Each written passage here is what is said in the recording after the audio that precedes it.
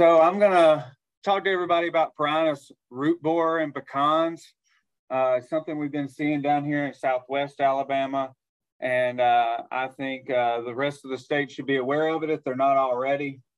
Uh, I'd like to shout out to Brian Wilkins for uh, really helping me out uh, with this study and understand these insects better. He's the boots on the ground. He's our research associate down here in Southwest Alabama working at the Fairhope Research Station, and he is my pecan guru. He's my my go-to person for all my pecan questions, uh, and a real wealth of knowledge uh, that he has. He's been in the industry for a long time. So, uh, kudos to Brian, and uh, thank him for all the these data that he has shared with me and uh, pictures and taking me out to see these orchards with traps in them and all that. He's been really educational uh, for my learning. But we'll go ahead and move on if I can get my slide to move. There we go. Uh, so this is what I'm talking about, the Prionus root borer beetle. Um, these beetles can put an orchard in decline, causing limb by limb a dieback until the pecan tree falls over or dies due to lack of water or nutrient uptake. Uh, these beetles feed on the root systems of a number of tree species, uh, and because of all those alternate hosts, it can make them very difficult to remedy. So these beetles were first discovered in 1969 uh, on pecan trees in Albany, Georgia. And those folks in Albany, Georgia have been gracious, gracious enough to share them with the rest of us across the Southeast and uh, parts of the Midwest. Uh, adults are very robust, broad, but somewhat flattened blackish to reddish brown beetles with antenna roughly half the length of their bodies on females and the entire length of the body on males. Um, lar larvae can be really large, um, fleshy, elongate grubs, creamy white to yellowish in color with three sets of small legs and a swelling behind their head capsule with uh, really strong black mandibles, really creepy looking creatures uh, crawling around in these soils. Um, as you can see, there's several species of the insects can complete their life cycle on. Pecans, hickory, oaks. I mean, how many oaks do you see out there every day? There's a billion of them just down the street. Um, so their host range is wide. They like poplars, peaches, chestnuts, apples, blueberries. Um, basically, if it's a deciduous fruiting crop, um, they're likely going to be able to live off of its roots. Um, you'll see population spike in a pecan orchard when land is cleared cut nearby. So when they're taking out a forest nearby, you might see them start coming onto your property. Um, and for those of us in Southwest Alabama and South Alabama in general, when a hurricane rolls through and pushes a bunch of trees over in the woods uh, or on the pecan orchard, um, this loss of habitat um, will cause these insects to move to a more suitable location like your orchard, they walk up and they see a buffet, tasty pecan roots. So these insects have quite a long life cycle, lasting several years. Eggs are laid in the late spring after the adults emerge. Uh, so typically these eggs are laid near the host plant. So once the larvae hatches, it begins its search for tree roots within that wide host range. Uh, and the adult does a really good job of making sure that that offspring as close to food. Um, once they encounter the tree root, uh, they begin to feed and may feed for up to three to five years before crawling within a foot of the soil surface to begin pupation. Adults are, and this happens around May, is when they're crawling, you know, up closer to the surface. Um, adult emergence seems to be staggered, and there can be one or two peaks of adults, adult populations in a given growing season. Uh, time of emergence is quite tricky to nail down because it fluctuates year by year and location by location. Um, the sex ratio of these insects is typically six females per male.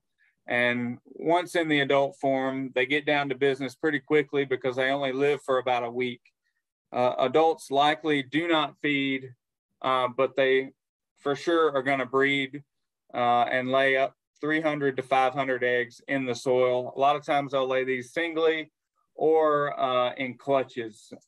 Um, good luck finding the eggs in the soil. So the damage that's going to occur is they're going to, the larvae is the damaging portion of these insects. Um, they're going to be eating the barks off the roots, girdling them, and then severing them. And I've got some good pictures to illustrate what happens uh, when they are in the ground and munching on your pecan roots. Um, but um, a sustained infestation may result in limb by limb death, and you're going to see a picture of that here soon. So my first picture, this is after a hurricane, pecan tree blew over. There you can see uh, what looks like roots sticking up out, out of the base of that plant. Um, most of them are severed off, and this is due to prionus root borers. Um, this tree fell because it had such a bad infestation of root borers that it had no structure to stand on. Uh, and this caused the wind to blow that tree right over. Maybe it would have survived if the root borers had not been in the area. Um, it may have had a full uh, root system and been able to withstand the winds. However, that was not the case. You can see these roots are kind of clubby uh, and they just eat right on through them. Here's another picture. I'll let you guess which side of the tree the root borers were on. Uh, if you guess the top side of the tree, you're correct. Uh, there's hardly any roots over there, and that's because they were munching away, having a field day on this pecan tree. Um, and we didn't realize it until the tree fell. Uh, the left side's got a nice set of roots, not the best looking. It probably had some damage too, but there's still roots there as opposed to the top side of that tree. Here's what I mean by limb by limb death. Uh, as you can see, there's some green canopy off to the left there, but that main central leader has died back. Uh, and we've got suckers and low limbs coming out all from the base of the tree. Uh, that's a good indication that uh, the root system has been tampered with in some sort of way. Um, and this is due to Prionus root borers in this case. So you'll see limb by limb death, just like this picture here. Um, we can see there's a thin canopy, you, the trees around it, especially this tree where I got part of it in the very top left-hand corner.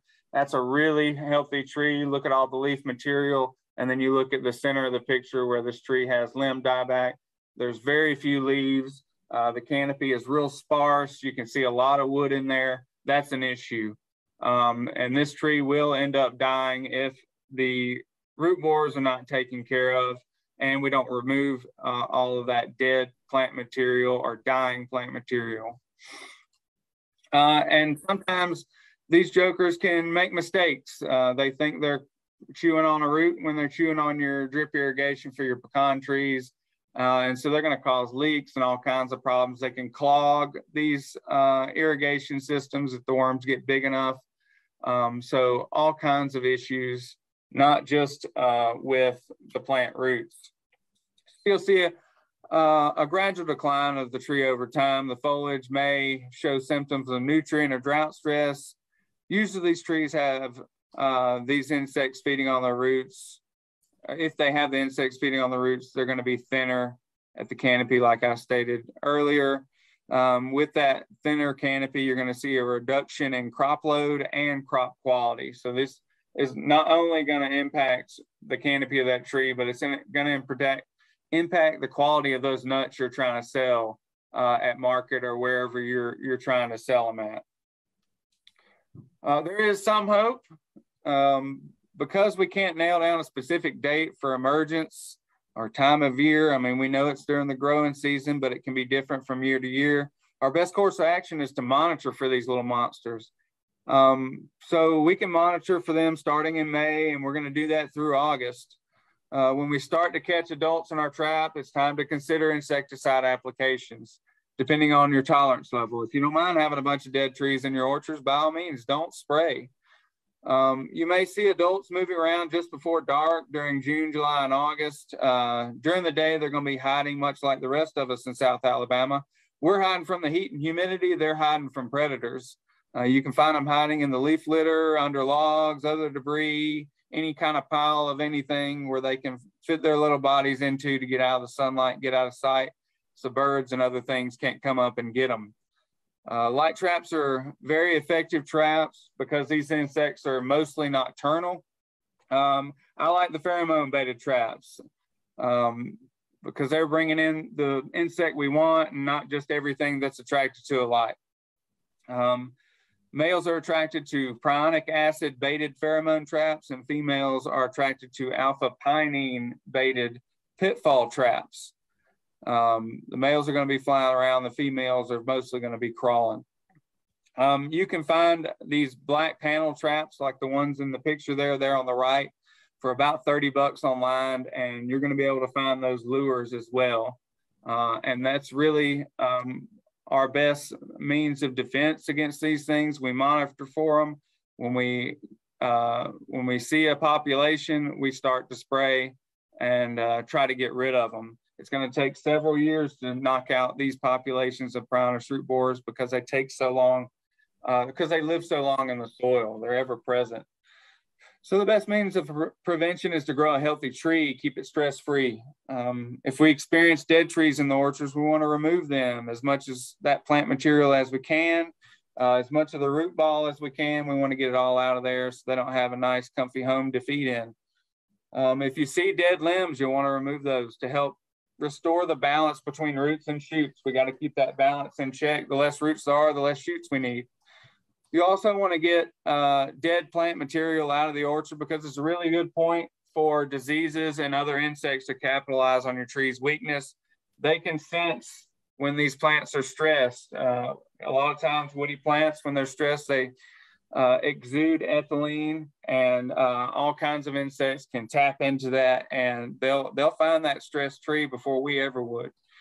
Um, so try to keep your orchard clean. If your land permits and you're not on a super crazy slope, try to keep a weed-free strip around the base of those trees. That's going to decrease the hiding locations for these insects and increase insecticide effectiveness. Um, when the adults arise in the late spring, we need to be monitoring for them um, with these pheromone traps uh, as soon as we start to see them, we need to start making applications of chlorpyrifos at four pints per acre. That's the insecticide we're going to need to use.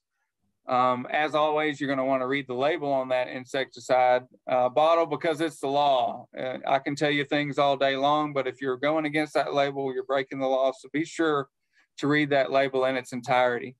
Um, this is currently our only means of control. Um, there's ongoing research. I know Brian's working on some stuff currently. He's got a three-year study going on four years uh, with these insects, just trying to nail down what we can do um, to keep them at bay and grow good quality, healthy pecan trees down in Alabama. So hopefully uh, he will have a eureka moment here in the next year or so, and I'll be able to give you an update and tell you all the great and wonderful things I've learned. Um, when we remove these insects from the orchards, uh, some of these trees will recover. Um, roots will regenerate. Um, a callus will form, you know, just like when we're grafting, a callus will form. Uh, and that's an indication that there's some healing going on. Uh, and so large tap roots and lateral roots that have been damaged will form that callus and regenerate new roots and shoots. So not all is lost. If you can prune back that plant, get your insecticides out and kill a bunch of these adults to keep them from reproducing. Uh, over time, you will see a gradual uh, rebound of your orchard. You know, it's not all well and good. You will have to remove some plants and you will have to cut some things back. It's going to be added work, but uh, you, you won't necessarily lose your entire orchard if you act. Um, so with that, I'm, I'm done with my piece. If you have any questions, don't hesitate to call or email me at any time. Uh, I'm usually always available and I'll try to answer your questions as best I can. Thanks for having me. So Jacob, uh, I have a question, quick question. If uh, somebody needs the identification, uh, do they need to send samples or who do, how do we send, send samples? How do you collect samples? For these insects, you can uh, always, if you have have these insects, or you think you have these insects, you can always uh, collect some in a plastic bag and freeze them, and keep them cold, and bring them to your local extension office. And from there, uh, a local agent can try to figure out what's going on, or uh, you can always send them off uh, for identification to Auburn. Um, if you got alcohol lying around, that's always the best uh, way to um, store these insects for identification. I've got uh, a Prionus beetle right here on my desk uh, that's been in alcohol for over a year that I was using uh, just the other day when I was making this uh, presentation. So um, if you think you have them, come find one of us, one of your commercial horticulture agents, and we'll be sure to ID that thing for you so you can, you know, start your management practices.